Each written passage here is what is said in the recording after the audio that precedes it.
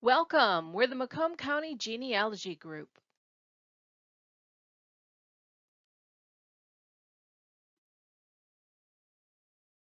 You can find MCGG at our blog website, on Facebook, Pinterest, Twitter, and at our YouTube channel.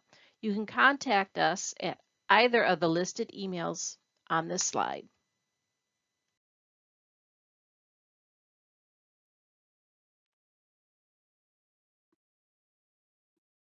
The MCGG Friday group has been meeting for over 47 years, and our MCGG Let's Talk Genealogy discussion group has been meeting for 15 years.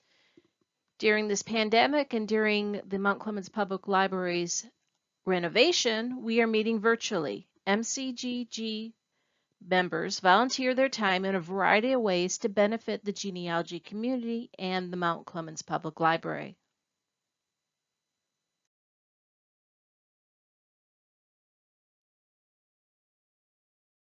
This is the MCGG Friday and MCGG Let's Talk Genealogy combined virtual meeting, May 12, 2021.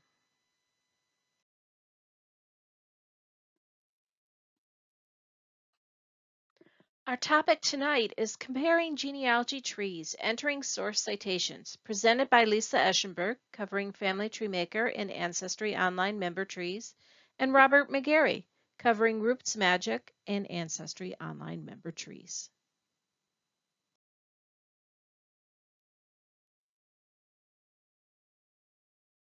If this is your first time attending a MCGG meeting, welcome. Attend a meeting and you are a member. MCGG has no dues. If you would like to be added to our mailing list, please send an email to the email shown on the screen. We try to keep our emails down to a reasonable number each month, mostly meeting reminders.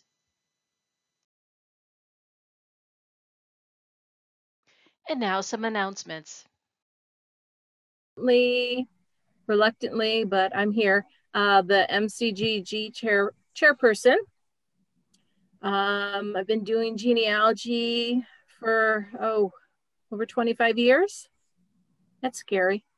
And um, well, you know, I um, lead the uh, Let's Talk Genealogy discussion group. And that's all I'm going to say. Go ahead, Bob, introduce yourself. I'm Bob McGarry, uh, the vice chair of the MCGG and going to be presenting tonight. I've been doing genealogy a little shorter than Lisa, about 20 plus years. Um, so, and I've used a variety of different software programs over the years. So, um, that's about all I'm going to say tonight okay. on that. Okay. Um, just hopefully, most of you are familiar with the Zoom platform here. If you scroll your mouse over the Zoom windows where you're uh, probably seeing uh, the gallery view with a whole bunch of faces that you may or may not be familiar with. If you scroll to the bottom, um, in the lower left corner, you'll see the mute unmute button. It's a toggle switch. So if it's if your microphone's active, it says mute it or mute, excuse me. And then if it's muted, it will say unmute. Um, if your video's on, the little icon next to it says stop video. Um, if your video's off, it will say start video. In about the middle of the bottom of the screen, if you want to see the participants list, click on it. Or if you want to not see it, click on it. If you want to see the chat, click on it. And these will, if you're in full screen view, they'll open up in a floating pop-up window. If you don't like that covering up your view of the, the, the screen, the slides, which won't be slides today, but um, if you go up to the very top of the Zoom window above the gallery of photos, um, there's a exit full screen and then the chat and participants list will appear on your right side.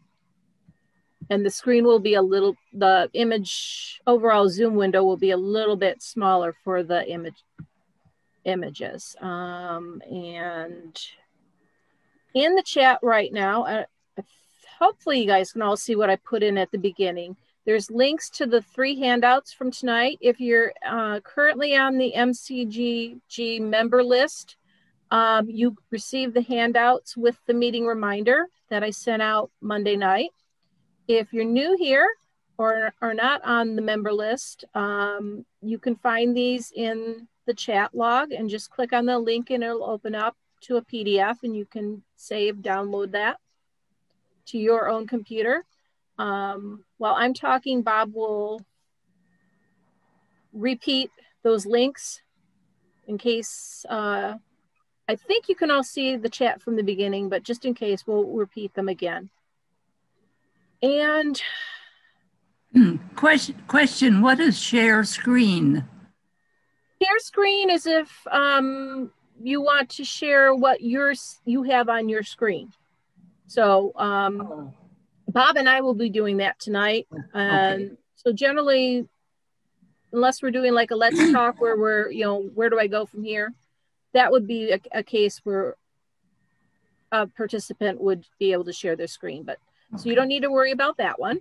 It's just the participants, the chat, the stop video, and mute, unmute.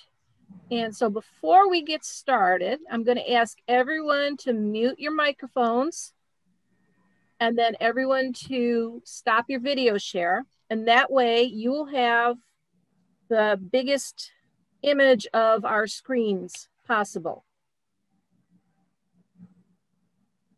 And then when we're when we're done presenting, um, when we go to the Q&A, we can start that again.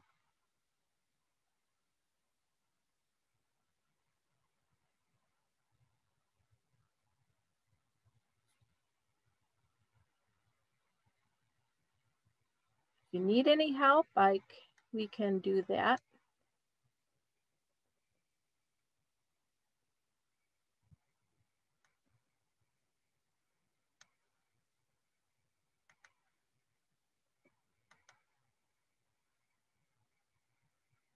Okay. And where is he? Got one more. Okay, now let me get mine stopped. Oh, let me share my screen.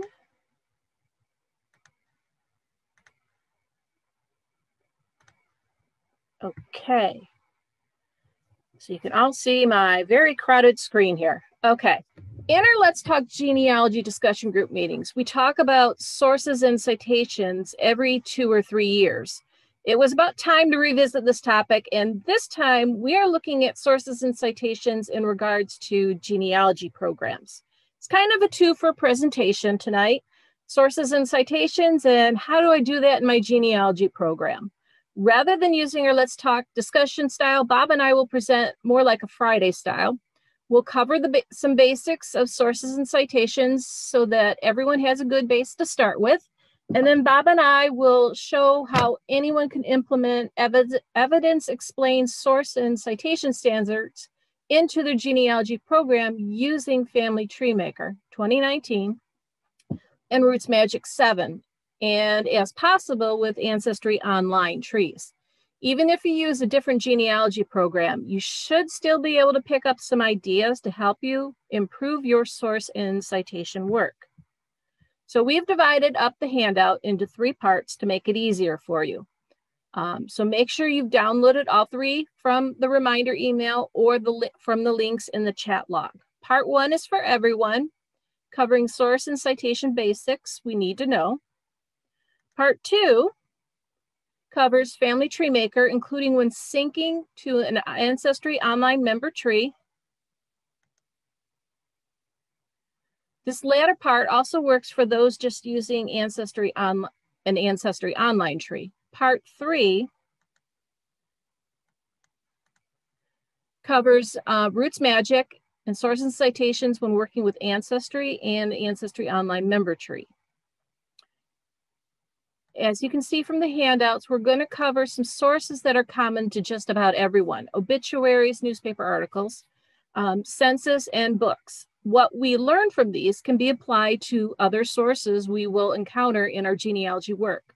We realize the handouts are jam-packed. We likely won't cover each individual source type variation we've provided for the three types we are covering, but we will explain the why you would use this template versus another. We want to leave time for a Q&A, but you all know Bob and I like to pack our presentations with information, so we'll see how this goes. Um, let's start with some basics. There we go.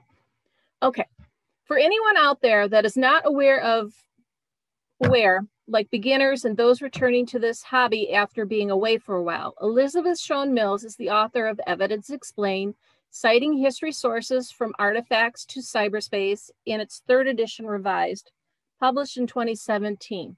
It is considered to be the Bible of genealogy sources and citations. The first three chapters are what you read. The rest of the 892 pages are reference that you refer to when deciding how to craft a source and its associated citations. From chapter two, we get an often quoted line, citation is an art, not a science. I start the handout with this because I feel it is encouragement. Once you learn the basics and guidelines, apply them and adapt them as needed. So yes, the book has a price to go with its hefty size, but you can find it on sale occasionally. And the ebook is a little bit expen less expensive. Occasionally you will see it at used booksellers, but make sure you don't pay more for a used copy than you would a new copy. Um, do you know that you can find evidence explained in libraries too? Our library cooperative has one copy of the third edition, one of the second edition, and four of the original 2007 edition available to check out. Libraries are great resources to access books and other items at no to little cost. Some libraries only have it as a reference, but I mention these that I mentioned can be checked out and even delivered to your library for convenience. If you are not from this area, check out your own library system. Elizabeth Shown Mills also has a website and a Facebook page that goes with the EE Tome. They are free. There are lots of excerpts from the book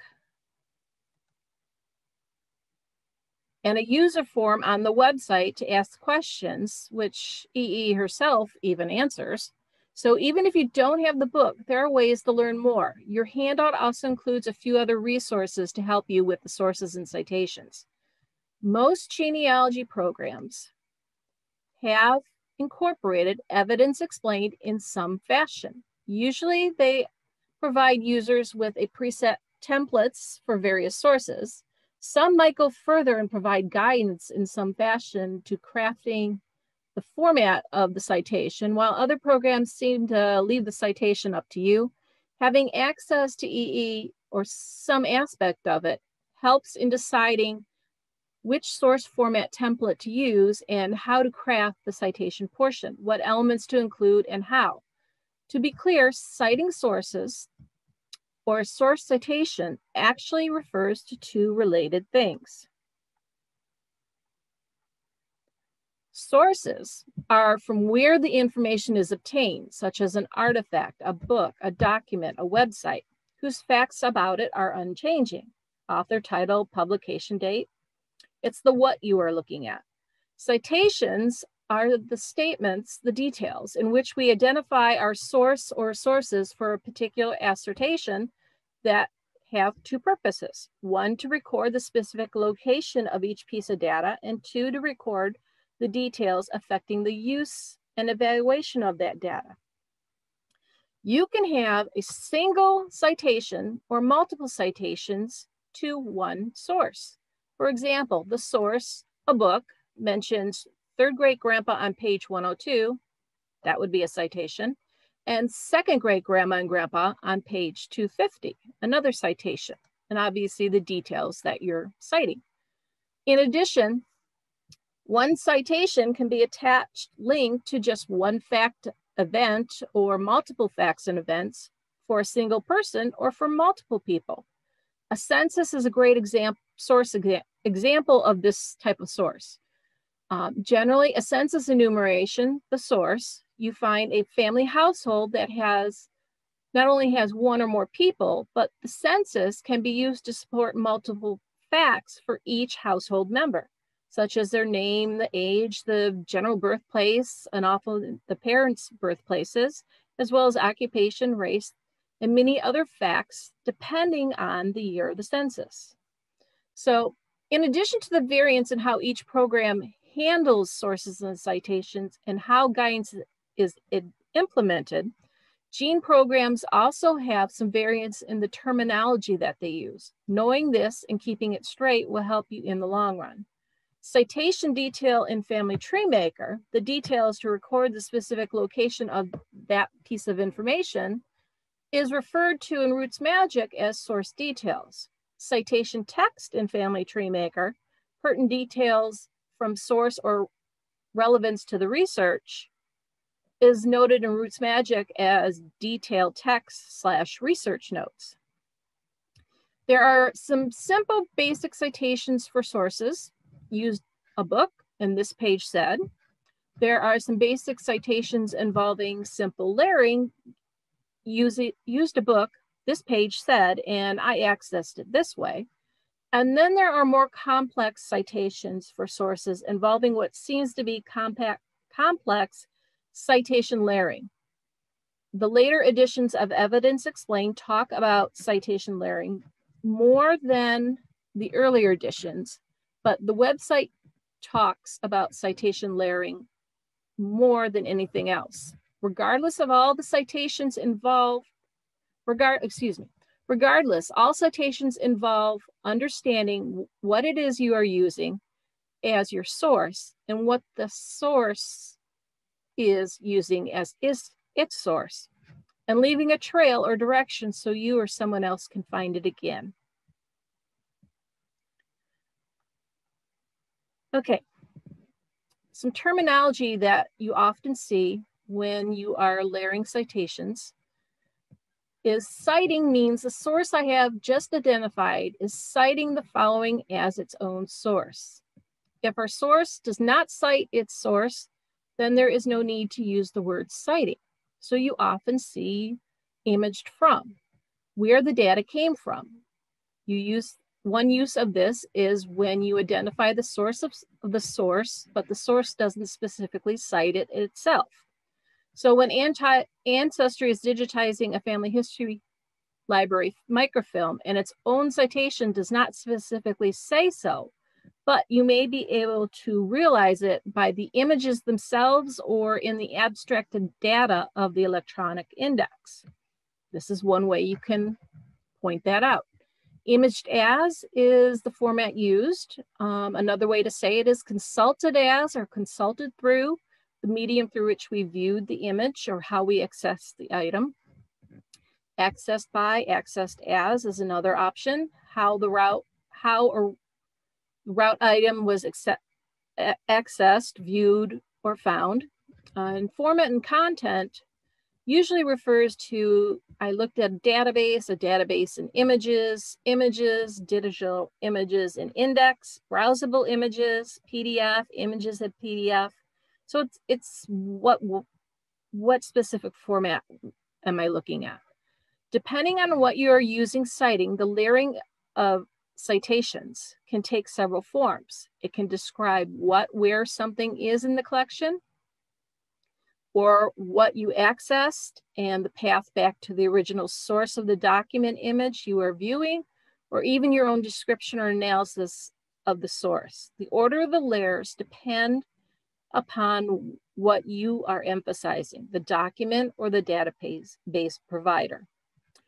Um, if you look at the evidence explained website, quick lesson 19 talks all about this. So you can cite the database, and the specific item of interest. And then a second layer would be report what the website identifies as the source of its images. You can cite the item image of interest. And then the second layer would be what um, derivative you consulted. And then the third layer would be what that derivative cited as the source of its source. The source, excuse me, the source of our source. Um, and there's a few other ways to do it. Building your citation you decide what details you need to include to properly identify what you are citing so you or someone else can find it again. For each detail, ask yourself, how, where did I learn that? The database website, the original image, or the source of the source. Then assign, use that detail in the appropriate layer of the citation. This will keep your citation layer separate and not mixed up like a casserole. And remember, citation is an art, not a science. So now let's look at the programs. Bob and I are going to switch back and forth so that our family tree maker and our roots magic people don't get bored, either waiting for their program or the Q&A portion. It'll also help everyone see how each program is different. Um, each program has positives and negatives. I think we decide which parts we like more when decide, making a decision as to which program to use. I'm going to be showing Family Tree Maker 2019, and this information is good for this version 2019 and any of the similar prior versions. Let me clean up my desktop here. And that, okay. So there are three ways to add sources in Family Tree Maker files. From the People workspace, the Tree View tab, which is what we have here, um, I've adjusted my monitor resolution, so hopefully the text is all big enough for you.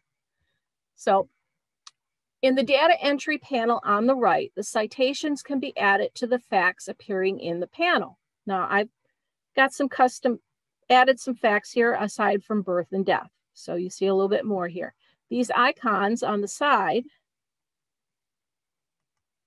are where you would click to add a source to the fact that appears here. If no citations are linked, you see a piece of paper with a quill. And when a citation exists, you see a piece of paper with a plus sign. Another way to add sources, okay, good, um, is in the people workspace, the person view tab. You select and highlight, mm, let me get this down here. Okay, select and highlight a, a fact and it appears in the right data entry um, column. And below the, the fact, you will see a source tab and then some buttons underneath that, which all pertain to that source tab. So you can add new, we're slowing, oh, there we go. All right, um, so this workspace view tab is the one that makes it easy to work with one person or family at a time. You can quickly select facts, you can add facts, you can quickly change to someone else and then back again. And do all that work there. Now, the other place you could add sources is from the sources workspace. And you can also go to, so sort sources in the sources workspace up here on the left-hand column in a list where you can add, edit. You can also go edit, manage sources, and you can use this edit through the menu in any of the workspaces uh, of Family Tree Maker. There's seven of them. And in Family Tree Maker, they allow you, in my words, to view your tree from different points of view, your media, your people, your workspace. So in the top center panel, you see the various citations attached to sources. And as you click on a citation, it appears in the right-hand uh, data entry column. Below in the center, these are the links to where that citation has been used. So it has been used for Edward Charles on his name and on his residence for 1910 for this particular source citation. This workspace it makes it easy to work from a source with a source and create citations for everyone in your tree who can cite it from that single source. All right, Let's get started with creating a source citation for an obituary. That can't be too hard, right? Um, it really isn't, but the question you start with, with any source you're working with, is what are you looking at working with? A photocopy of a newspaper a bit made by viewing a microfilm and properly labeled. A clipping you clipped yourself and properly labeled, of course. You did that, right? Um, a clipping you inherited from someone who didn't properly label and won't be named.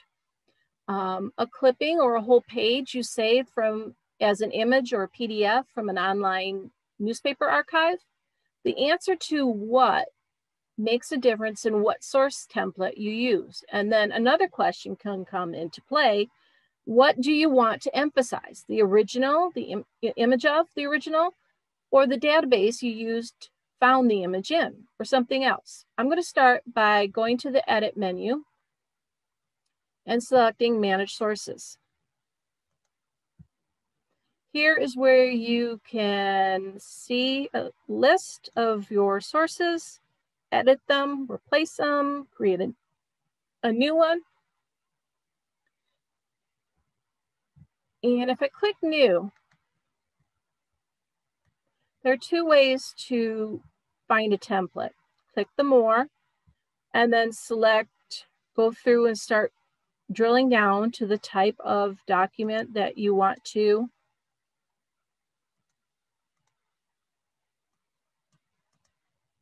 choose, or type a keyword.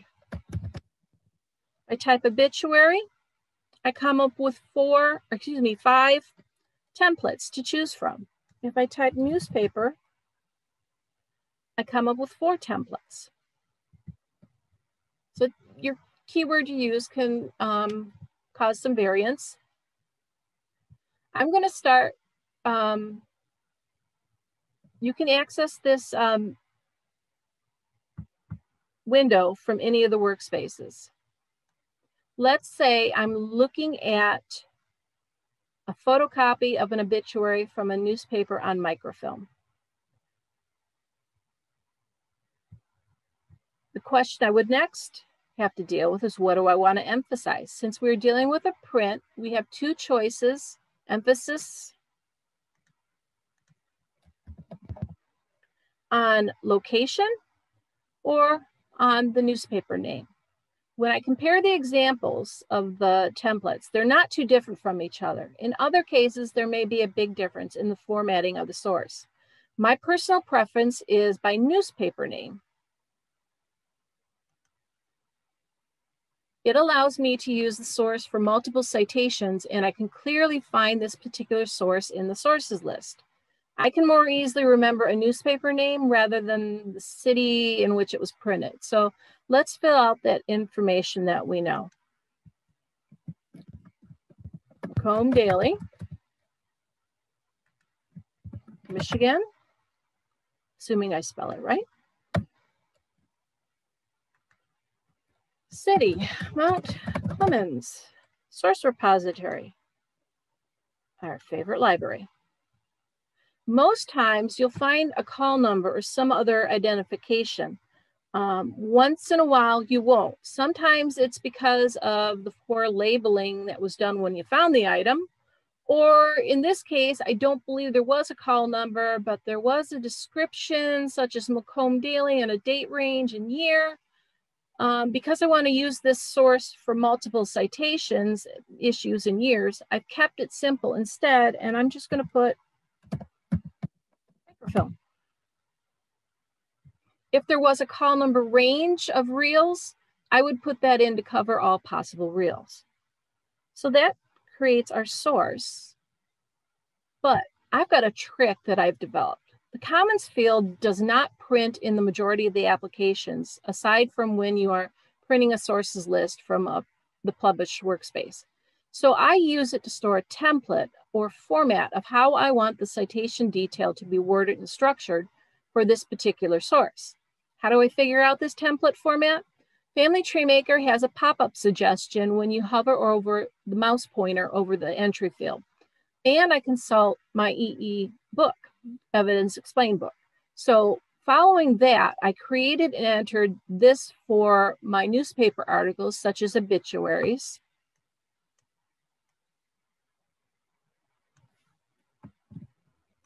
There. And that's actually in the handout too. Now I just need to view the source entry for my list and copy my cheat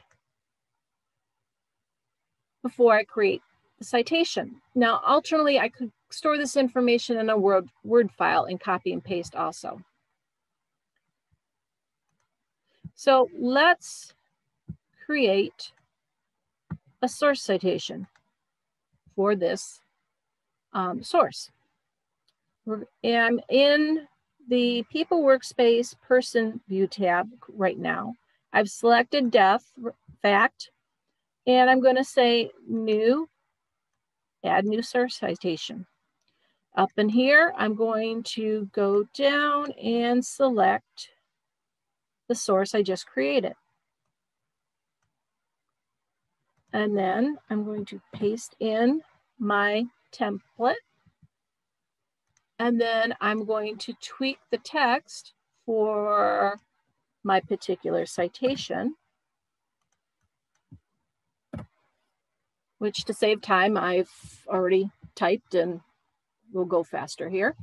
Um, now you'll notice I'm missing information on here in this citation. It's probably page four based on what I know about this newspaper, but I'll have to add it to my research to-do list to recheck that fact. Because um, we didn't, whoever copied the um, obituary didn't write down the page number. So I could include columns numbers if I know them, and I inc could include the date the copy was made. But if you don't recall it, don't panic or worry about it in the grand scheme of things, yes, it's nice to know what day you uh, made the copy, but it doesn't change anything likely. So I skipped the access date and included a layer to indicate I looked at microfilm rather than original newspaper.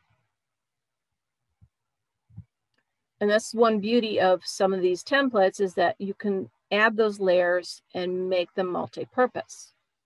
Um, it's up to you if you want to do a complete transcription of the item that you're working with, such as the obituary. I have already typed it, so I'm going to add it into the citation text. Um, if you have a scanner and an OCR program, that's one way to do it also.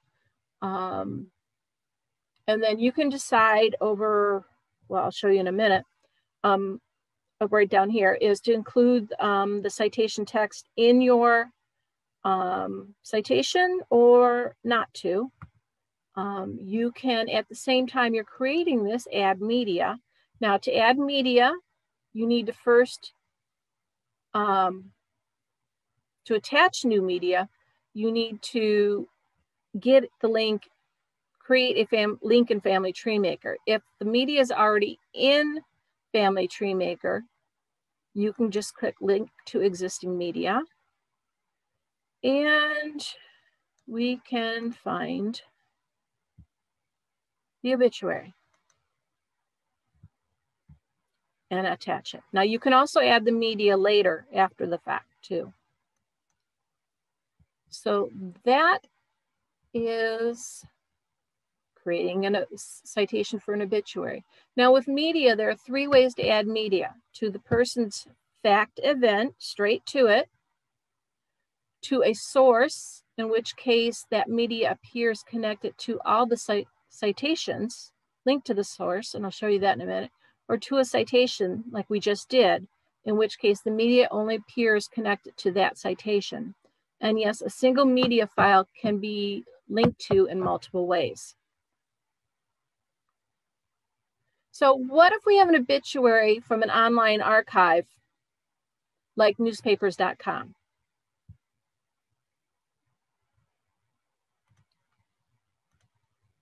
we go. Well, then we would use one of the other source templates. Remember, there were two choices for newspaper article online. Let's bring that up real quick.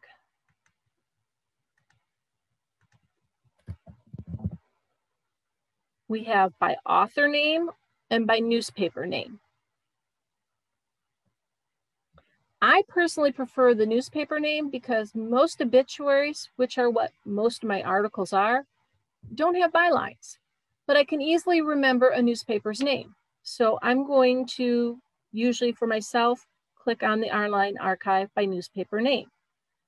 Now to save some time, we're gonna pretend that I've typed this out. And we're gonna go to this one. And we just type this. Um, so it asks some of the information that we answered for the previous template that we used, but it's also asking information about the online archive that we used. So you just fill in what you know. Now, again, I created a citation detail for this, and it's actually the same thing that I used for an obituary on microfilm or a print version. So again, to create a citation, I'd copy it, and then I would go and create it for the person that I'm working with. We're gonna take a look at what I did here. So I changed that text to adjust for what I'm working with, obituary. We don't have an, an author. We have the type, the headline, we have the date, we have the page, the column number in this case, and this time I used the date we accessed it. And then I attached the media.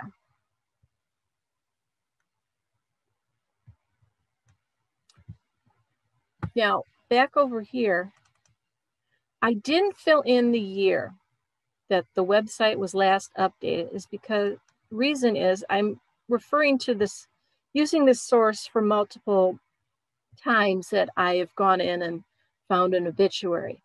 And this website is updated about every week. So to me, it didn't make sense to put the excess year there. But I did add it with when I downloaded that uh, obituary. Now I didn't have any, didn't add any citation text for this one, but and that's personal preference, but I do have the image attached, so that kind of helps that out. Now I can go back later and type it in if I desire. Now, what if that first obituary for George we used was instead just a clipping? And we know who we got it from, but the clipping may not have been labeled at all or only partially labeled. Remember the under, other template possibility when we typed obituary in the edit menu? The artifact private holding.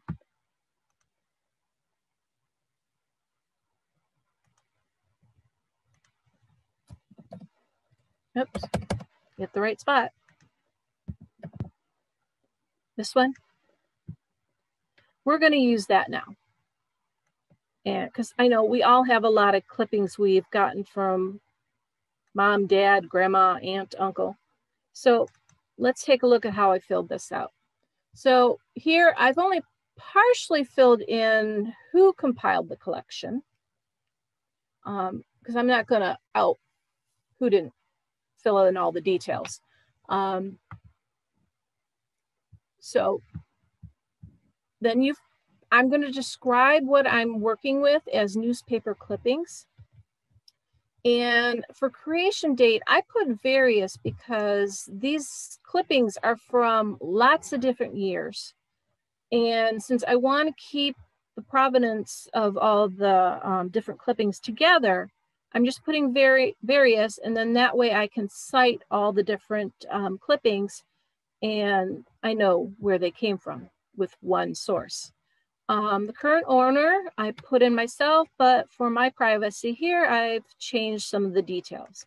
And then I've added my little cheat sheet, and it's very similar to um, what I've used for the other obituary template choices, but I when I enter the information, you'll see in a second here, it's a little bit different. But essentially, it's the same. Got the name of the obituary, which is like the title. Um, I've described it as an obituary clipping um, and that it's hand dated with whatever dates on it. And for page, I put unknown or uh, in the handout, I think I had question mark because I don't know the page because it wasn't on there, it wasn't labeled. And then I added um, my commentary on this particular obituary because there may sometimes be a likely suspect, but you haven't confirmed it yet as to which newspaper it came from. And um, so I've added my educated thought regarding the clipping's own origin.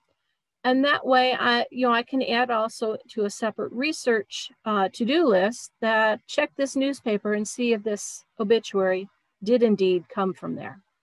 So that's three variances of how to do an obituary. And now we're going to switch screens to Bob, and he's going to cover obituaries in RootsMagic. So you can not only see how it's done in RootsMagic, but also see the similarities and differences between the two.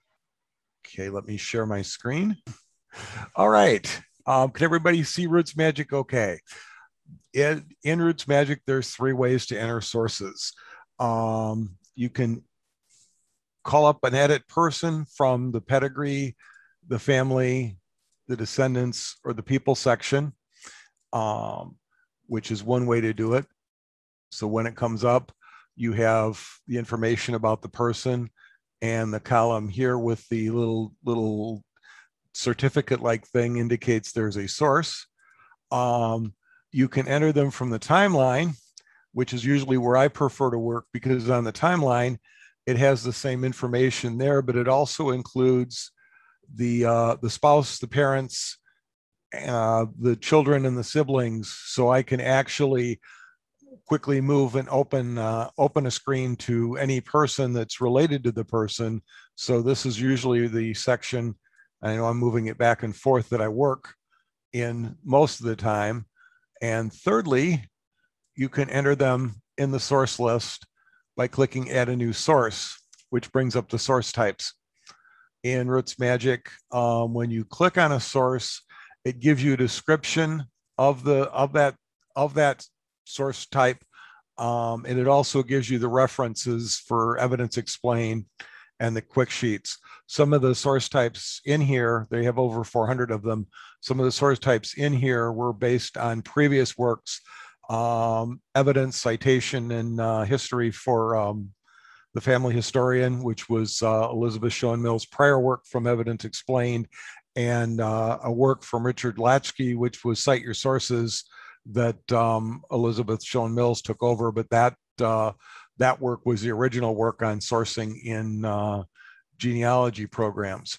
So let's go and look at our source our obituary source.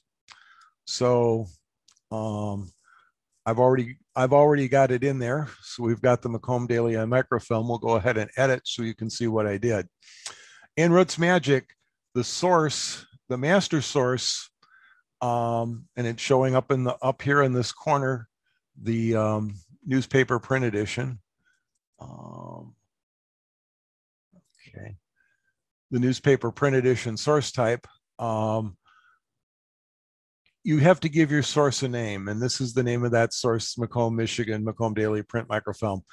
Um, so I've created that master source for all sources from the Macomb Daily. Macomb Daily, uh, the title of the newspaper with the place and the published place. Those are always in yellow in RootsMagic 7. The details or the actual citation is in green. So in um, in this case, it's going to ask us specific questions about the content and where the content is. And then it's going to actually show us our footnote as it creates it and our short footnote and our bibliography. It also will give us our research notes, which we can then add text, which would come in the source text or the comments, and that relates to the master source. the detailed text, which I put in the research notes. Basically, I took the um, the picture, the JPEG of the of the obituary that um, that Lisa sent me to do this source citation, and I um, OCR'd it um, using a free using a couple of free OCR um, resources that if you show up next month you will hear about.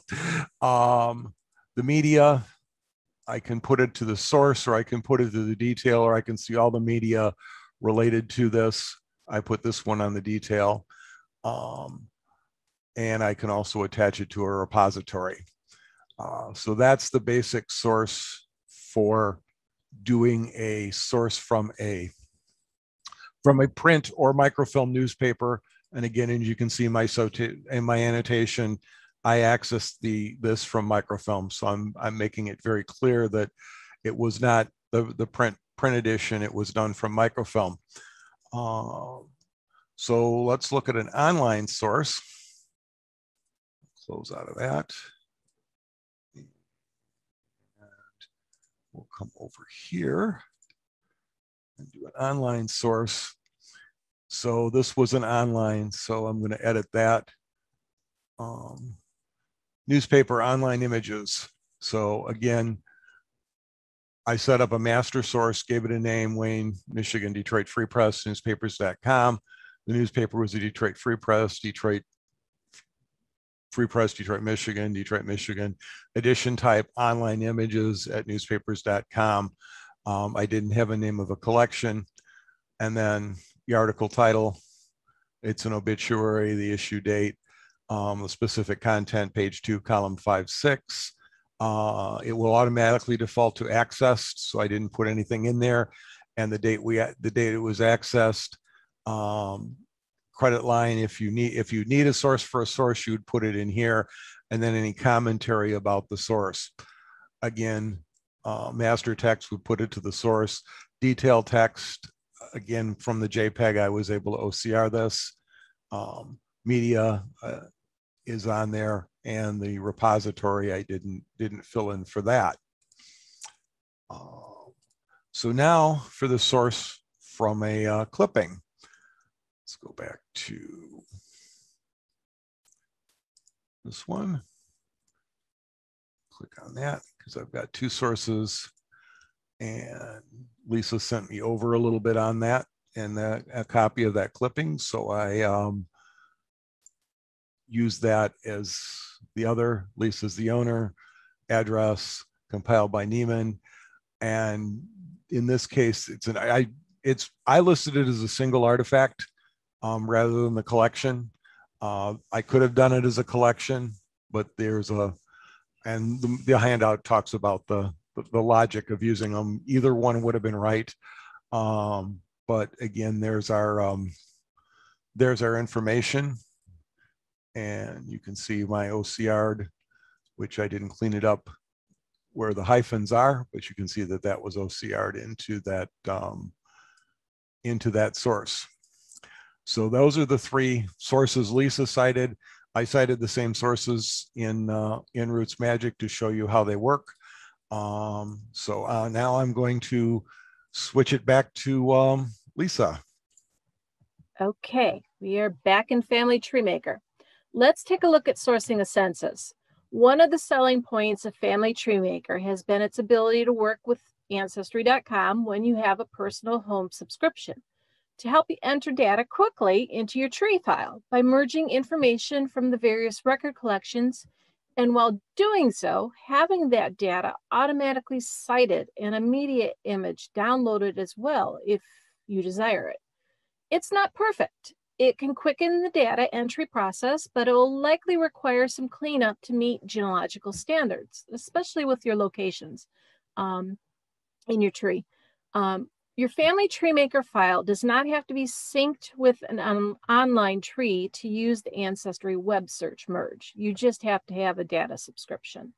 Unfortunately, it doesn't work with the library edition, um, but you can always manually add in what you find.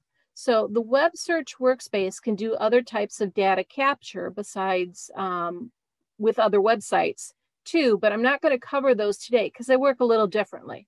Um, web search merge can be done with a wide variety of data. And I'm going to show you the source and citation resulting from a census so you can see what you get and how you can modify it. I'm not going to show the merge from the ancestry itself, just in case we have bandwidth problems tonight. And we were having a little bit fun earlier before we let everyone in. So in the sources workspace, I'm going to show you what I did, and this will save us some time. I'm going to click on this source. This is the one that is created when I did a web search merge with um, Ancestry. Um, notice that the web search merge does not use a preset source and citation template, which would be listed here if we used one. It's actually the default no template format. And yes, they use this despite there being some templates for online archives. Um, this automated process varies with each data collection. Sometimes the data about the source of the source is added to the source comments, as we see they did here. What is added to the citation detail varies and likely doesn't follow, always follow evidence explained formatting. As you can see here, most of the US Census enumerations were early data collections on Ancestry, so most have more information in their citations than, say, newer um, data collections. Sometimes information is added to the citation text field, um, like we see here. Sometimes there's nothing. Sometimes information is added, facts, events, description field that are added as you're merging the data. Usually a link to the web address of the downloaded document image is included, which you see down in here. And again, you can include them in the reference note or not. It's up to you. So here's the Ancestry Web Merge source for the 1910 census.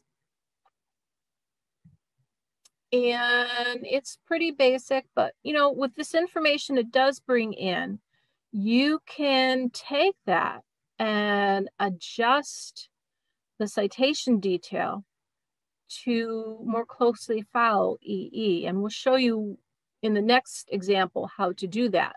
But you're all this information here in the detail will help you do that. The information here telling you about the source of the source will help you. I'm going to cancel out of this for the moment. So generally, oops, go back there. As long as you don't edit the source itself, meaning the data in this window right here on top, long as you don't edit that, you can edit and alter the citation detail in the text to be what you want it to be without messing up the um, programming behind the ancestry and the family tree maker merge um, so that the sources stay in that you've brought in stay with that um, particular uh, um, web merge source. So what do you change the citation detail? Follow the format in the, uh, the census template examples to come. There's a lot we can use from here. Um, in Family Tree Maker 2019, you can once again rename the downloaded media image during the merge process instead of having to wait until after the merge process to rename that meaningless numbers and letters file name to a name that works with your file naming process. And you have one of those, right? We've had a few meetings about that. Okay, with any record type, unless a relationship is stated in a record and is part of the abstracted index information, the Family Tree Maker Ancestry Web Merge will not merge the data and citation for any others in the household or involved in the record. For example, federal census enumerations for 1870 and before prior do not state relationships in the household. So only the person of your search result is merged. There's two ways to fix this. Search for each person and merge them separately, or copy paste the fact with the source citation attached to the others in the household. So continuing our quick look at census,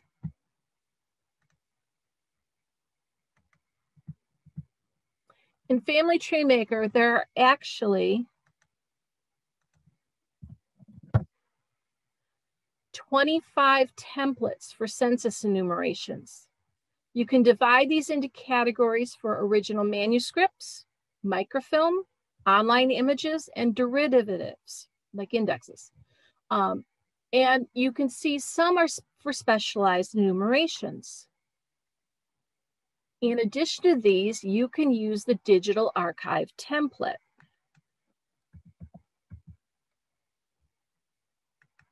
Which you can see here. It also fits because nowadays we're mostly using census from a digital archive. And by showing you this template, you can see how it would work for other types of digital archives. Those data collections, which are like chapters of a book, those data collections on the website. So use the digital archive template if you're manually, manually adding documents and data that you found using an online collection from a website like Ancestry, MyHeritage, Find My Past, Family Search, then format your citation deal to the detail to the in the format that is needed for the type of document data you're using. Use your evidence explained to guide you. For example, a census found on Ancestry shown in the example, um, vital records, probate, um, in this template, the online data collection is the focus. So we're going to pretend we're speed typing here. And we're going to quickly type out a digital archive template for the 1910 census, which you can see here. So we've got the exact title that was used for the data collection. We've described the collection format. It's digital images and an index, the website creator owner. Because the website title and the creator owner are the same, you only have to fill out one of these. The URL, I generally go with the main URL of the website. You could go with the main, the URL to the collection, but a lot of times that's really, really long. Um, the only time I kind of use that collection URL is like family search, because if you notice family search, each different data collection has a specific number. And so that's a lot shorter. So I, I will often use that. Um, again, the year, because it's I'm accessing it at different times or it's been updated, I'm not so worried about the year. And that's a personal choice. And again, I created a um, cheat sheet uh, citation detail format for myself based on the information. And this one's a little different. Most of the time with the digital archive, you're starting with the document and the path to the document and describing the digital part first and then where the source, their source is. For um, Elizabeth Shown Mills, um, the census one for a digital, for a um, online images, it looks like this, essentially. And so um, if you don't want to go to such a detail, you know, you can just do entry for who, who, whoever household it is, the locality, county, and state. That would be a quick way to do it. And you can go back later and fill in the information. But if you want to be a little bit more detailed so you know what you're exactly looking at, this is the type of um, citation detail that you want to use. So let's take a look at the actual one we did.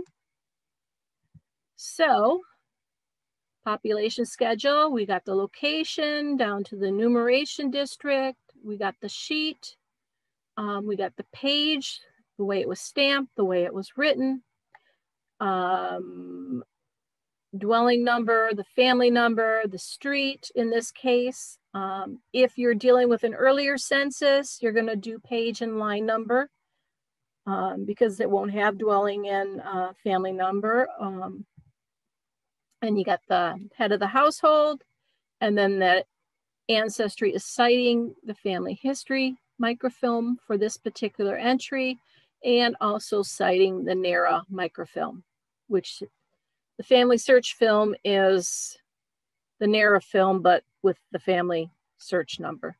Um, or if you're, um, when you're dealing with a digital archive, usually what you will see is digital images and index path, and then the image number, the entry, the page number, enumeration district, citing, citing. Um, but Elizabeth Shown Mills chooses to um, do it this way. Um, so that's what that would look like. And you could, of course, attach the media and then extract any information you want from the image.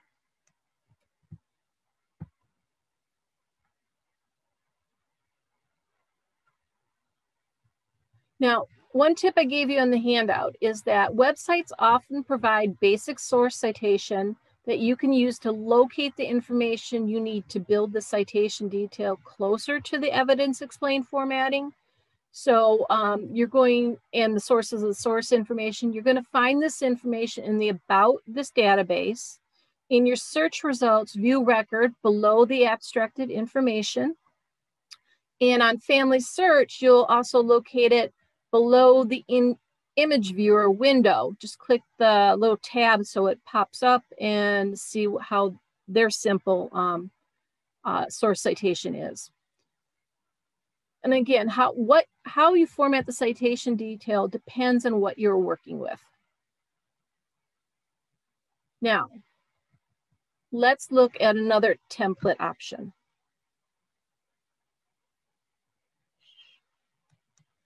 There we go. Um, this is Census online commercial site generic digital cen census digital image by census year. If you're manually adding your census documents, this is another template that you could use um, when you found the documents on an online collection from a website like Ancestry or MyHeritage, Find My Past. It's also helpful for when you want to be want to be to specify which type of enumeration schedule you are using, such as the population, the mortality, the agricultural, and then format your citation detail in the format needed for the type of census that you're using and use EE to guide you. And again, the census, the citation detail is very similar with the other census templates we've gone through. Um, there's another variation of this template. It's um, online commercial site, generic census digital image by year and location. But you'll need to create a source not only for every year of the census, but for every location.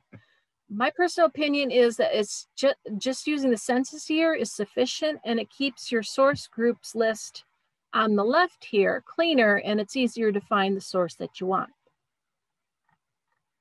Okay, let's quickly look at a book template, just a basic book print edition. And we're going to open this one because I magically type this. It's pretty straightforward template in which you gather the information from the book's title page and its verso, the copyright page, to fill out the information fields. There's additional templates for various types of books, such as multi-volume works and several others. Um, the citation detail is pretty straightforward. Just indicate the page or pages that you are citing, and then type the text in the citation text of what, what particular part of the, the page you are referencing. Now, while this template is designed for a basic printed book, you can utilize it further by using Citation Layer when you're consulting an ebook or a PDF file of a digitized previously printed book, like the, all those old local history books. Add a semicolon and the phrase consulted as saying where you found it, or um, for example, consulted as PDF archive.org in the archives um, URL. Or um, consulted as and give the file name that you downloaded, archive.org and the URL. This is helpful if you've already cited the printed version and now you've found additional information by util utilizing the searchable PDF file version of the same book.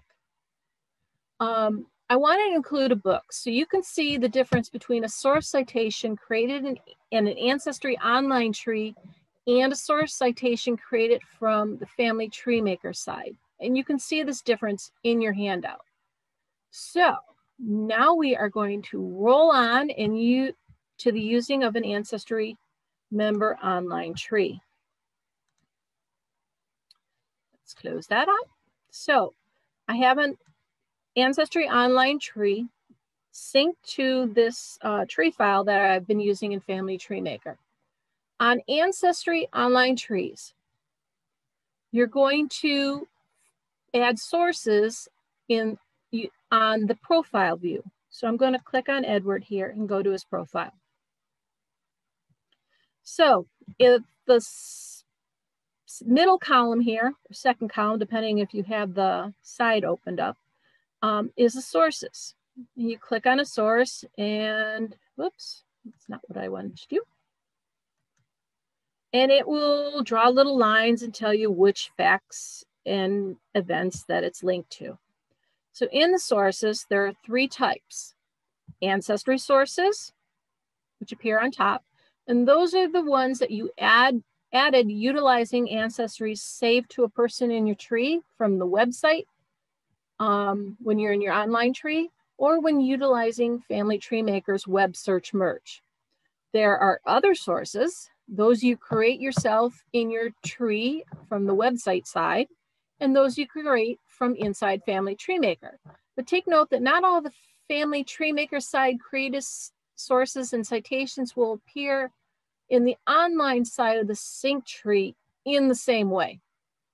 Um, and you'll see why in a moment. Um, web links is the third type, and those are created only on the online tree side and they stay on the online tree side. They don't appear in the family tree maker side. So if you need a reminder of what syncs between a family tree maker tree file and an online tree, uh, for Family Tree Maker 2019 Companion Guide, see Chapter 12. The PDF page is 275 and 276 for a list of what syncs and doesn't. Web links are very simple. You add a web link, and I'm just going to show you here so I don't have to type it all. You copy paste the URL from the website page that you are looking at. And then you create a link name, which is just a shorter description or better description of what it is you're linking to. So this is a photograph actually from the Suburban Library Cooperative's digital archive of the Prees department store in Mount Clemens. Um, since it's a copyrighted photograph, I can't download it and include it in my tree but I can create a link to it.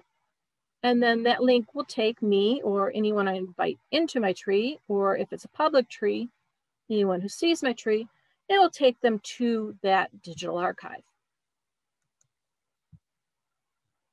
Other sources are those that you create yourself from the online side or from inside Family Tree Maker. So I'm going to go to Lewis.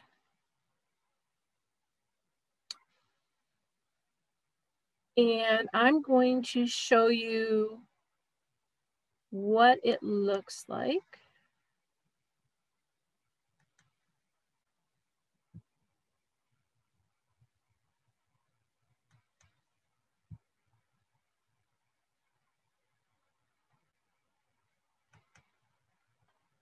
All right.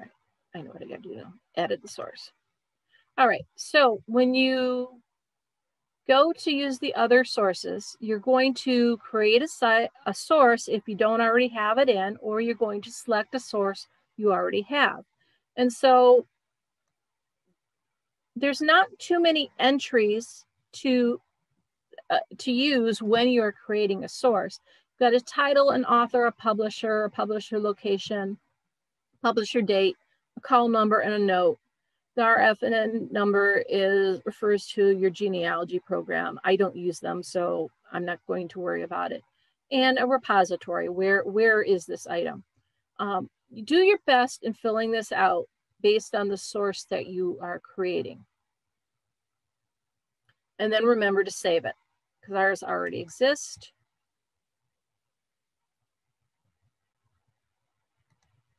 You'll see that. So like if I had clicked the add source directly,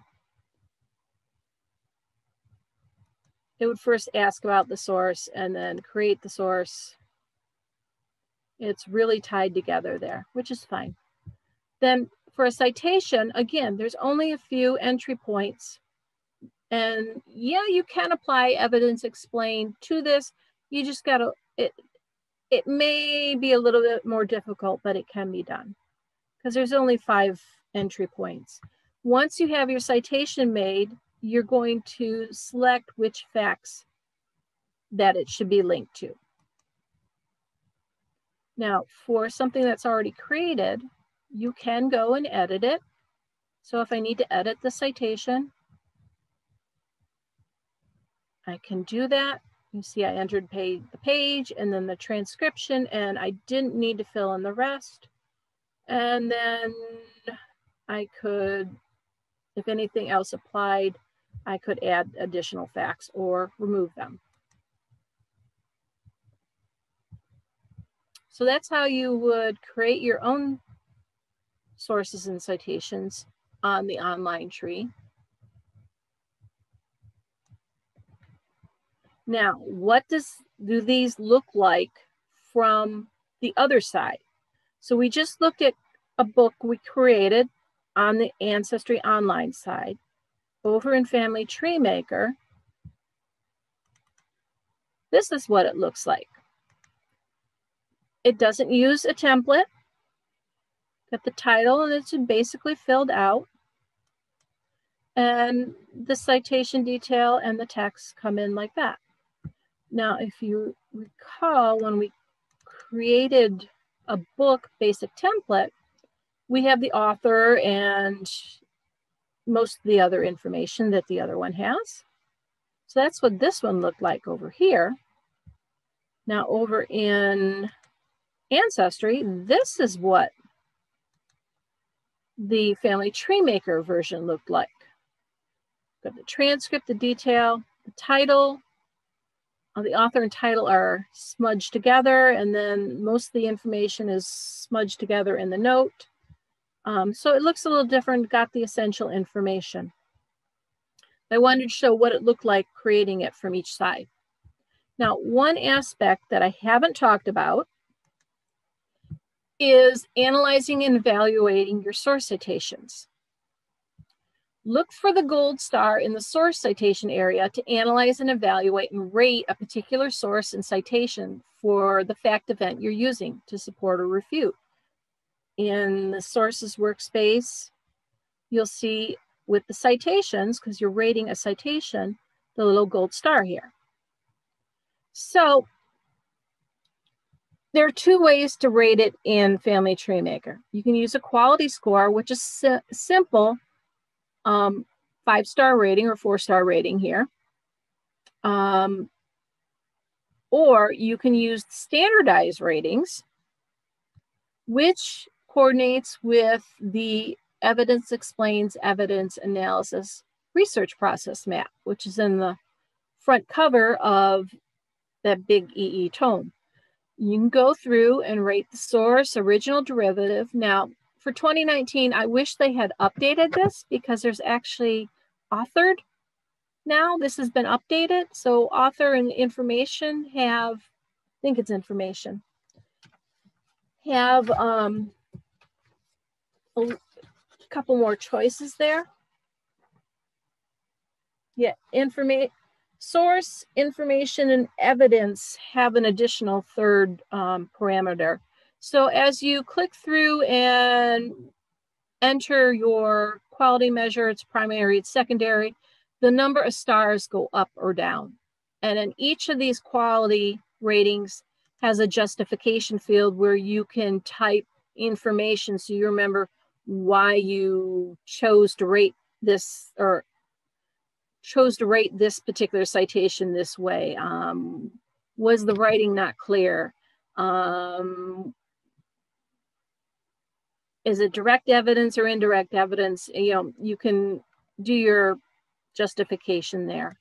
So in the um, sources workspace, you'll find it here as you click on the citations and you just click the star and rate it and you'll see the rating go in. Um, some of these I haven't rated yet.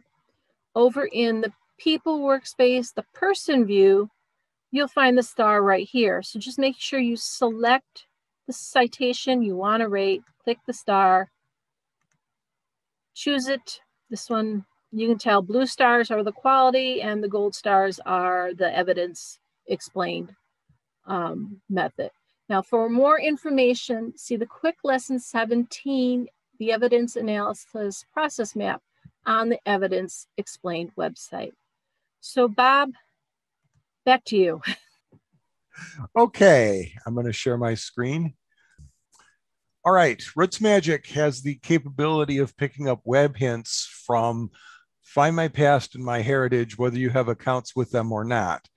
It also will pick up Ancestry if you if you transfer the tree online, or it allows you to download an online ancestry tree and work with that as your database and family search. But in both cases, you need to be logged in.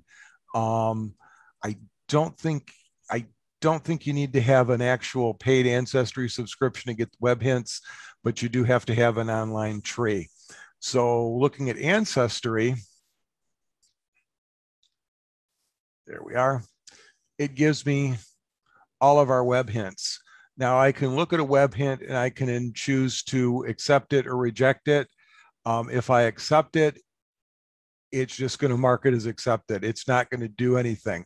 But it's also showing me on the ancestry side what the web hint's going to do. So I can actually download that web hint and create a source right into RootsMagic from ancestry uh, without um, without changing the uh, the ancestry online tree or if i if i check these and download them in from here it will actually put these in the ancestry online tree and bring them into RootsMagic um, so i do i'm not going to do another one. I'm going to show you that one in a second. So if we open up um, whoop, hang on a second. This is the one bad thing about seven is it puts things where I out of sight for me. Uh, I'm going to stop screen sharing for a second while I fix this.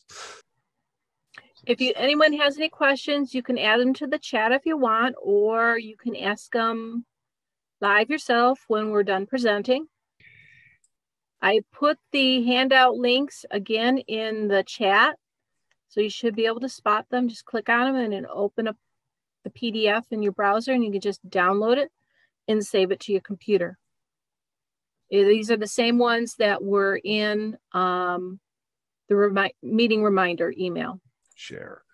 We're back. Okay, so I'm going to show you a um, a census record that was downloaded from Ancestry. Uh, so it actually came in as an ancestry record. Um, the master source ancestry.com, it gives the title of the database, the published place, the ancestry operations. And this is basically the citation that Ancestry downloaded or it downloaded from Ancestry year 2010, place Mount Clemens, Ward 2, Macomb, Michigan, roll, um, page, enumeration district, uh, and the FHL film number. So it's pretty close to um, what uh, um, EE is looking for. Uh, I could change that by re redoing this detail down here. Um, And it also gives the source text, the quote from Ancestry, and it puts nothing in the detailed text. So there's room for me to put the transcription in there. Um, so that's a source downloaded from Ancestry. I can also download from, I'm going to show you the family search, is if you're connected to family search, it will look for the family search person and it will compare the family search online tree with your tree. So if, if I want to download a fact and source from there, I can do that. Um, I did that for an example. So let me go into George Prees here, and I believe, yeah, this one was downloaded from uh, Family Tree, um, and it uses just a free-form basis. It it adds the footnote, the short footnote, and the bibliography and the page number, but it's a one-of type source. Uh, for that particular entry. I don't recommend doing this, but I just wanted to see what it would what it would do. But the other nice thing about the uh, family search is if you're going to use the online tree, you can upload directly from RootsMagic to that. I don't have an example of that since this isn't actually my research I'm working with, and I don't want to upload to a tree for somebody uh, or a, some a person for someone I'm not researching actively. Um, but this number here next to the person's name is their ID on Family Search. So it automatically will download and find that for you if it can match the person to the Family Search database. Uh, the last source I want to look at is one that we entered. Um, so this is another census record.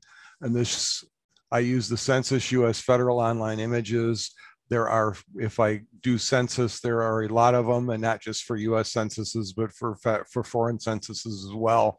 Um, when you're doing a federal online image template, your master source is at the should be at the county level. I know RootsMagic and a couple other programs do that recommend doing that, and that becomes the jurisdictional box of Macomb County.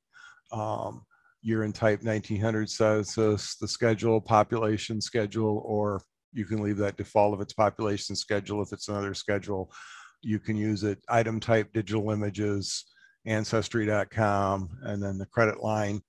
Um, Mount, you know, the civil division, the enumeration district, the sheet 22, um, the household ID, the person of interest, the access type, again, it defaults to access, so I usually don't type anything in there. And your access state, there it creates your, um, your footnote, your short footnote, and your bibliography. And then the research notes, I transcribe the, um, the census line into the detailed text for research notes, and then added the, added the media as well uh, for that. As far as quality, again, the, similar to the, um, as described in information explained, you, you can set source quality on all your sources. And when we go back up into the um, citation, you'll see that under the quality line. Well, it's said here, the defaults are don't know, don't know, don't know, um, source, original, derivative, information, primary, secondary, evidence, direct, indirect, or negative, which is the third one that Elizabeth Shown Mills adds. And again, if you want to explain it, you can to add that to the comments. Let's go look at a book.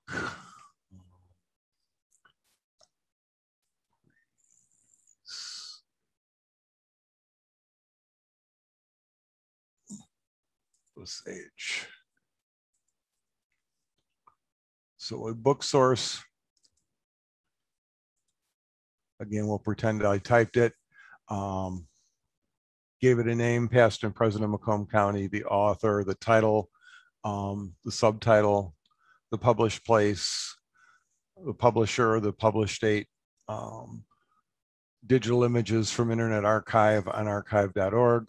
Um, again, if it if I downloaded the PDF file and was accessing it from that, I would put PDF file instead of digital um, digital images.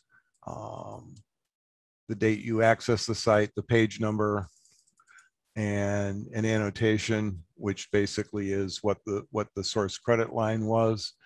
Um, I could add that to the to the research notes or the detailed text as well. Um, media, and I that one came over as a PDF. If I would have pulled the JPEG out of the PDF, you'd actually see the media. And uh, again, on on source, I would put the title page, and on detail, I would put the actual page it came from, um, and it's pointing to a file on my hard drive. Uh, I think that covers it. Um, I think at this point we should open it up for questions. I'm going to stop sharing my screen and start my video and we can open it up for questions. Okay, great. We did good, Bob. my, my alarm was set for 8.30. We did good. All right. Um, David has a question in the chat and I'm not exactly sure the answer because I have moved my stuff. So his question is Do the differences between the source citations in different programs make it difficult to move between programs? And the answer to that is it depends on the it depends on the program and how it moves. Um, certain programs are good at in in bringing text or bringing information in from other programs but for programs that aren't very good at that or programs that are incompatible, you've got to use GEDCOM. And unfortunately, GEDCOM has not been supported for many, many years. So a lot of the, the newer source template type stuff does not transfer very well in that scenario. Um, but a lot of times it will convert what the other program had into more of a free form source and just bring the citation over. And that's probably the best, best way I have seen. Um, my, my databases started out in Family Tree Maker many, many, many years ago. Um, moved to Legacy and are now in RootsMagic. And some of my, of course, um, we didn't know a lot as much about sourcing as we knew uh, as we know today. Um, although when I made the move from Family Tree Maker to Legacy, it was because of um, Elizabeth Mills's first book, uh, and it seemed like at Family Tree Maker at that time didn't really do that that book justice, and uh, the Legacy templates were built from that book. But um, if I go back and look at some of my early early sources, they're quite ugly. you know, uh, I can add to this. Um, when I was trying to give you a file to work with, so you didn't have to type everything all over. Mm-hmm. Um, I had done this and converted this to Family Tree Maker 2019. Mm-hmm. But RootsMagic 7 came out before 2019. So RootsMagic 7 couldn't take a Family Tree Maker 2019 file. So I had to downgrade it to uh, the part I was exporting to a family tree maker. Oh, did I have to go down 2014? I think. Yeah, it'll it'll it yeah. should read a 2014 file. Yeah, I think I had to downgrade to a 2014 family tree maker file when I exported this branch in order to have something it, in order to open up in RootsMagic 7, which I have also. Mm-hmm. So then I was able to provide him with a RootsMagic 7 file. But I think I took out some of the s- sourcing so that you could do it the way you would do it. Yeah, there was there was there was no sourcing pretty much on anything in that file. Yeah, because um, I, I want to make sure that you had the ability to do it the way you would normally do it. Mm-hmm. Yeah, and that and that helped because I will I looked at it. I was documenting the the sources that you had researched, and um, but um, you know looked at what's the what's the best way based on the information you gave me on those sources to to uh, create the documentation. So, David, the answer is as Judy Russell says, it depends. All right. If you anyone else has a question, you can turn on your mic and ask um, if you were look I one from the from the uh, chat. If you were looking at a tree with a citation and sources from Family Search or Ancestry, does the info make it quicker to find info on those sites because the program does it pretty quick? I'm not sure. In a way, what- in a way, because if they've Yeah. cited it on Ancestry or you know in that process, and it's linked to a data collection on Ancestry, yeah, you can just click on it and go to that that that census image or whatever and see what they saw and say, yeah, that looks right. yeah, that that's true. So that's Um, one way. So I you still got to do that analysis yourself. You know, did they? Is this real or did they just assume same name, same person? which happens a lot. Which happens a lot, yeah. So, does anyone else have a question? I have a question. Hi, Ann. Hi, Ann. Okay, um, I noticed on a source citation for Edward Charles Prees, you have a birth date and place of the 27th of July, 1874, Eastpointe, Macomb County. Anyway, um, I, there was no Eastpointe in 1874. Okay, I'll, I'll ex- yeah, I know it's Katie's Corners. Um, in order to utilize the, um, here, let me share my screen. Share screen. I can't see anything. Okay, just a second. Just a second. Share. Can you see my screen now? Uh, yes, Okay. All right. Um, and you were looking at Edward. yes. Just a second. Let me fly back to Edward. Okay. In Family Tree Maker, um, they have this. Um, if I click on it, it's going to take a little while. to. Places workspace, and what it does, I'll click on it, and so we can see. Um, what it does is it links the places in your tree file to Bing Maps. In order for it to do that, and to, for you to be able to take advantage of using this map and creating my migration paths and things like that, your locations have to be modern locations. So that's why if you look at my um, location, and let me get Bob's face out of here for a minute. Okay, Okay. so it's all right. I, I I minimized it here. I'm not sure if you guys were seeing Bob or not. Uh, okay, so over here in the birth location, I put Eastpointe, Macomb, Michigan, USA, and then in the place description, I put then, or I could say at the time, Katie's Corners. So I'm using the modern day location so that I can take advantage of the mapping features, but I am recording the the place at the time to maintain that historical accuracy. It's a compromise that, yeah, those genealogists, us who have been in, in genealogy for a long time and we know we're supposed to record the place as it was known at the time, um, we kind of got to wrestle with that. So that's kind of where that that that is. Does that make sense?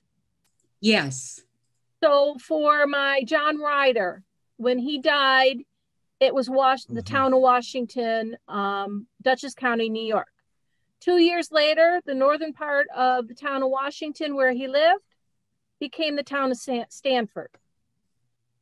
So I've got him in as Stanford, Dutchess, New York, USA, and then I have at the time or then um, town of Washington.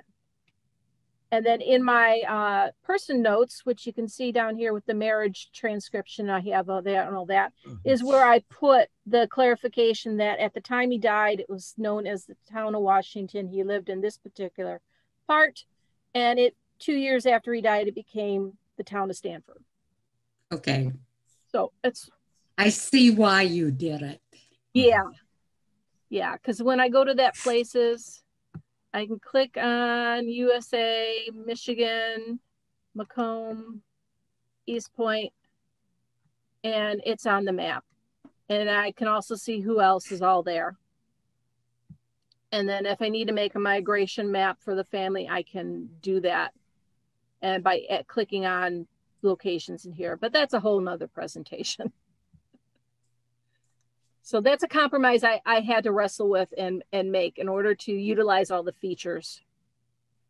And when you're merging data in from Ancestry, it's going to merge in as Ancestry's indexers type the location. So you've got that database of locations and you've got the Bing Maps database of locations. But then you got Family Tree Maker's own database of locations and they're all three different. so okay. when you clean up your locations, there's reasons why you know this came in this but it's not being recognized. You can see this Doberson isn't being recognized. There's a question mark. So i can tell it yeah that's where it is or i can move the pin and say this is the where i want it.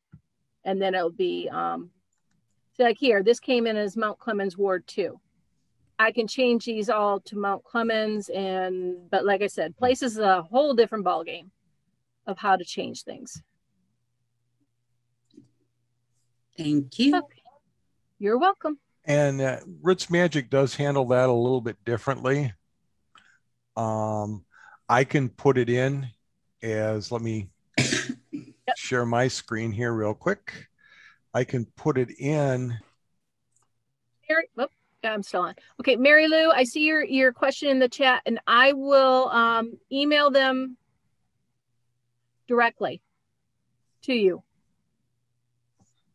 I, can, know sometimes you have a hard time seeing them in the in the reminder email. I can put it in under the standardized place name, geocode it, and then change the place name to the original place name, um, and keep the standardized place name for for for mapping um, on there, so it will map out uh, if I want to and uh, I didn't do that change to this um, to the file you Lisa sent me, but on mine it's set up kind of that way based on what and where, so I don't use all standardized place names. Um, I as my primary display places.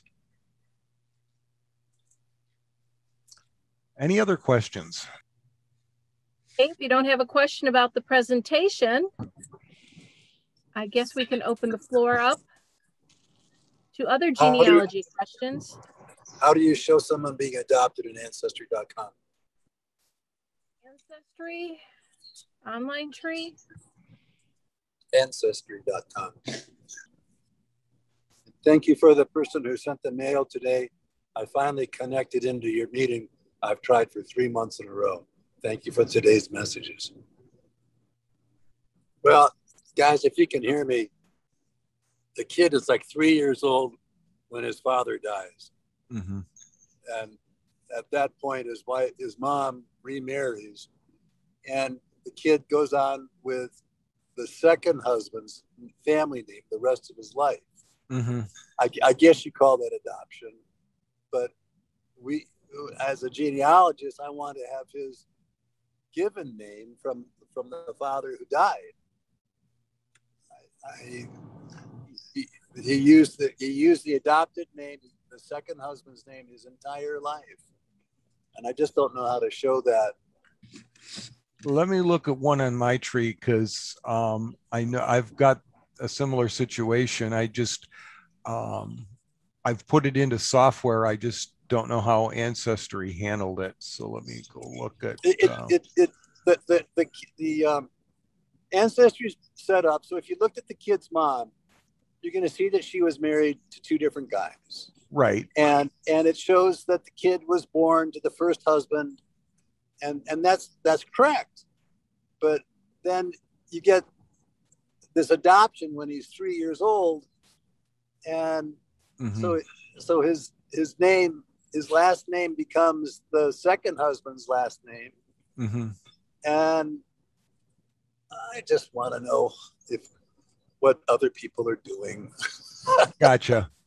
Um, okay, I'm looking at my situation, which is similar to that in my ancestry online tree, um, which uh, how did? I mean, I like I said, I entered this probably in um, in Legacy and uploaded it to the ancestry. Actually, I I take that back because I ran Family Tree Maker to upload to the ancestry tree because Legacy wouldn't.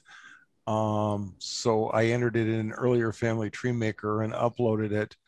Um, although I'm not showing the um, the biological father, I am showing the um, yeah, I don't have that set up like I have it in my database.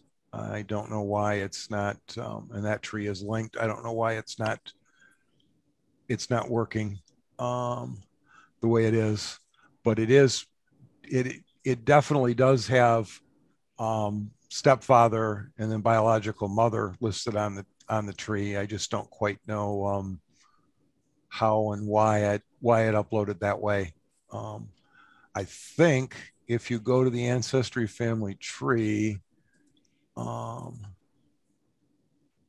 add family member, spouse, son, daughter, brother, sister. Um, um, I don't know if the ancestry family tree can can attach more than one parent to the same uh, to the same person um, or one set of parents. I know a lot of your genealogy software can, Legacy could, and and um, and RootsMagic can but um, I uh, don't have a really great answer. Although it looks like Lisa's coming back on. Unmute, Lisa. Yeah, sorry. Did the recording stop? No, the re- the recording's still going on. It just Okay, you dropped good. off. Okay, yeah. oh, lost internet here. Oops. Oopsie. At least you hit the button. Or or Teresa did. Someone did. Cause I was I was on Teresa's account. So Okay. uh, So I started. I got back in. Okay, go s- ahead. I started to answer uh, Mr. Horton's question as best I could. Did you have any other insight? Um, yeah, it, that's what knocked me. Oh, I don't know if that's what knocked me off. Hang on, let me go back to where I was. Okay, in the profile page, I clicked on the person and I was under edit relationships when I lost um,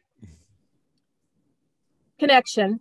So under father and mother, there's a tag here, biological. Click on that change it to adopted or you can add an alternate parent and make tell and hook them up as adopted or step or foster or whatever the relationship is so that's how you do it with an ancestry online tree You go to the you go to the section that offers you relationships, and you'll find an adoption tag. i didn't quite hear you you're You, you, Go to you're the se- suggesting go, go to the relationship and, and look for it. Look for the appropriate uh, adopt and you go to the person's profile we're talking Yeah. about an ancestry online member you know a member tree yeah, so you bring up that person's profile yeah. bring up show the tools you want to choose to show the Okay. tools and, Okay. and edit buttons up there with a, dr- Okay. drop down arrow you click on edit relationships Yeah. and then you if you've got someone there um, you can click as adopted or down in the children's area you can change it from biological to adopted step foster related guardian private or unknown so there's two ways you can do it at the parent level or at the child level Yes. Clearly. Okay. I hope I know how to unmute. I hope I know how to go back to mute. Thank you. okay And I want to thank everybody for putting that notice out today because this is the first meeting I've made in three months and I've been trying to get to it. Well, Thank you. what I explained to you, John, in the email before is that um, the, the email that you sent was a different email than what we had for you. Oh. That's that's what I explained what the problem was. You because your the email that we had for you obviously wasn't going to your phone or whatever device you were looking at because the email you sent was a different one, so I added that one for you. Merci, merci many times. Thank you. Okay. Am I sharing my screen at that point, Bob? No, you weren't. No, I forgot to click. Okay. Hang on. Let me go back to Zoom. All right, share screen. Sorry about that. Okay, so over here, let me get rid of us. Okay, over here on a person's profile, you're going to go to edit relationships. And then if you need to change the parent, you click on this tab, drop down here and change it to whatever you want. If you need to change the child, then you got to be on the parent, either mother or father, and then edit relationships and then change the child relationship to the parent to whatever you need adopted step foster related guardian whichever and then if you need to add alternate parents to if you know who the adopted the biological adopted you can add alternate parents that way. Okay? Hope that helps everyone including john. Stop sharing for a moment. All right. So thank you, Bob, for helping me with this. Thank you, Lisa. And uh, now I got to get working on next month. yeah. I got to get weeding. well, I got to do that too. So. All right. Bye, everyone. Bye. Good. I'm glad you guys enjoyed it. Thank you for watching. Our next meeting is scheduled for June 9th, 2021.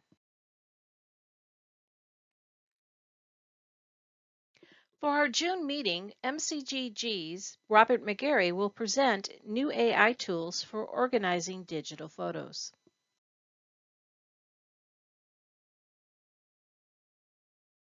Last but not least, MCGG extends its thanks to the Mount Clemens Public Library and its staff for hosting this Zoom meeting. Goodbye, everyone.